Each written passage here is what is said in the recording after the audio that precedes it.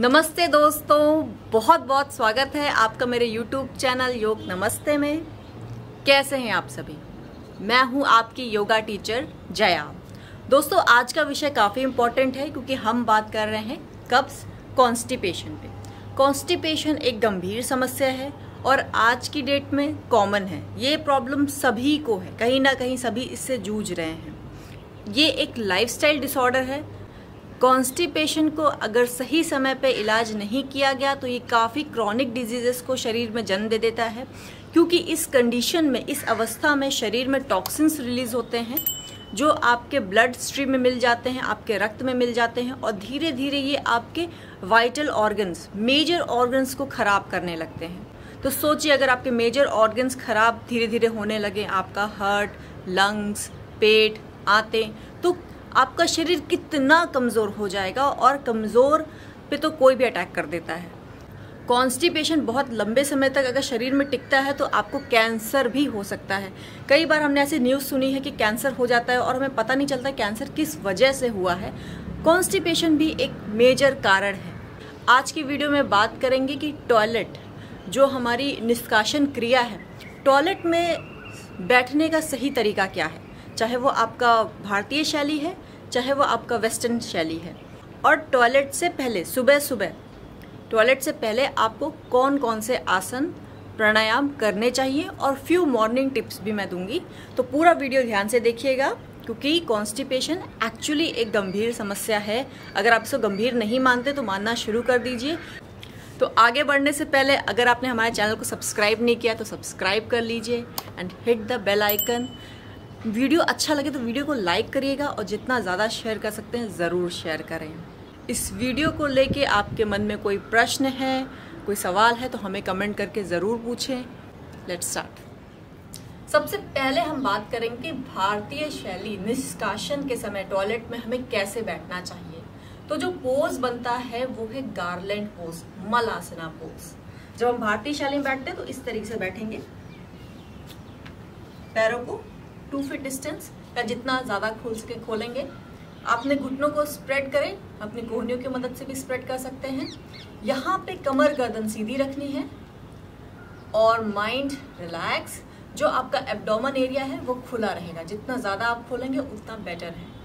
यहाँ पे सांसों को शांत कर दें, मन को शांत कर दें। ये आपका पोज हो गया। अब यहाँ पे निष्कासन के समय पे ज़ोर नहीं लगाएँगे। क्योंकि कॉन्स्टिपेशन का एक बहुत बड़ा कारण आपका तनाव है। और आप निष्कासन के समय भी अगर तनाव को ले आएँगे तो ये क्रिया और भी दुर्लभ हो जाती है पेनफुल हो जाती है और डिले हो जाती है। इसलिए यहाँ पे ज़ोर ज़बरदस्ती नहीं करना है। जो नेचुरल नॉर्मल तरीके से हो रहा है, उसे होने दें और ऐसा आप प्रैक्टिस करें, आपको रिज़ल्ट एक हफ़्ते में दिखने लगेगा। ये बहुत ही इफ़ेक्टिव है। इसे साइड से भी एक बार देख लें। तो इस तरीके से आपको निष्कासन के समय बैठना है माइंड को रिलैक्स रखना है। माइंड का फोकस आपका वही होना चाहिए जो कार्य करने के लिए आप बैठे हैं। तो इस समय में कोई और कार्य नहीं करेंगे, कुछ लोग अखबार पढ़ने लगते हैं, मोबाइल देखने लगते हैं, वो काम टॉयलेट में नहीं करना है। अब हम बात करेंगे कि वेस्टर्न शैली में कैसे बैठना चाहिए। वेस्टर्न टॉयलेट में जब हम बैठते हैं तो हमारी मुद्रा शरीर की क्या होनी चाहिए? तो मैं चेयर सपोर्ट से आपको बता रही हूँ चेयर थोड़ी सी ऊँची है। जनरली टॉयलेट की सीट थोड़ी नीची रहती है। तो जब आप बैठते हैं तो कंफर्टेबली बैठें। दोनों पैरों को जितना ज़्यादा ओपन कर सकते हैं ओपन करेंगे। अब यहाँ पे मैं जस्ट बकेट लेकर आई हूँ। अपने पैरों को थोड़ा सा ऊपर कर सकते हैं ब्लॉक सपोर्ट से, आपके पास छोटे टब्स हैं, उसके सपोर्ट से, किसी भी सपोर्ट से आप पैरों को थोड़ा ऊपर कर देंगे तो इस तरीके से आप वेस्टर्न शैली में बैठे।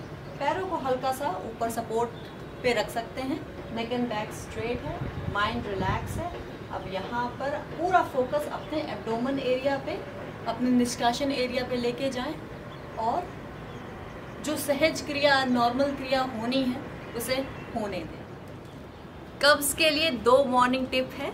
सबसे पहला कि जब आप सुबह उठेंगे तो आधे घंटे तक आपको कुछ भी नहीं खाना है। आपको अपना माइंड रिलैक्स रखना है।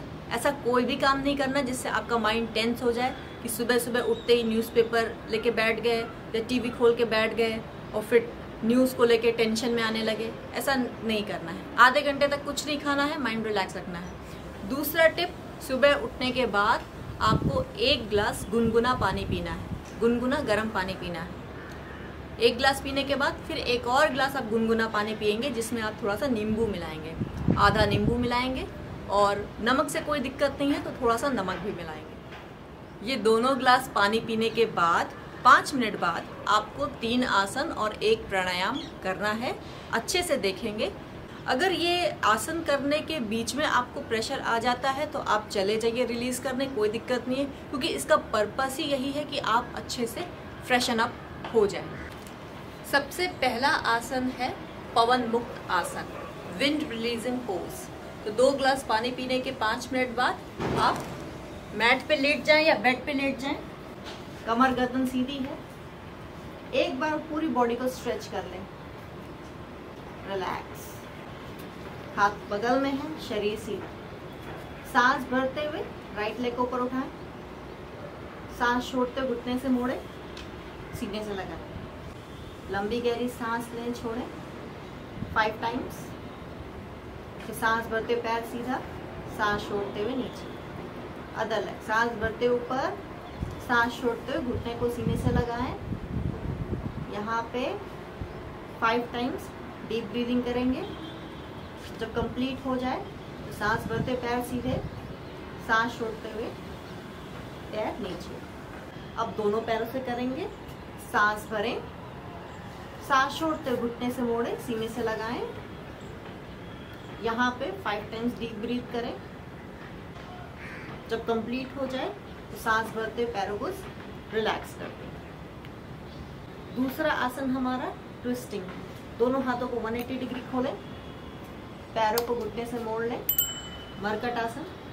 Knee to knee join foot to foot join अब यहाँ पर सांस भरे, सांस छोड़ते हुए ट्विस्ट दोनों घुटनों को अपने लेफ़्ट साइड लेके गए, गर्दन को राइट साइड एंड ट्विस्ट सांस भरते हुए सेंटर सांस छोड़ते हुए ट्विस्ट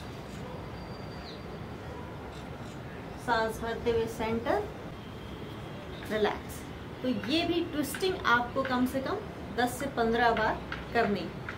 और तीसरा आसन है आपका मलासना।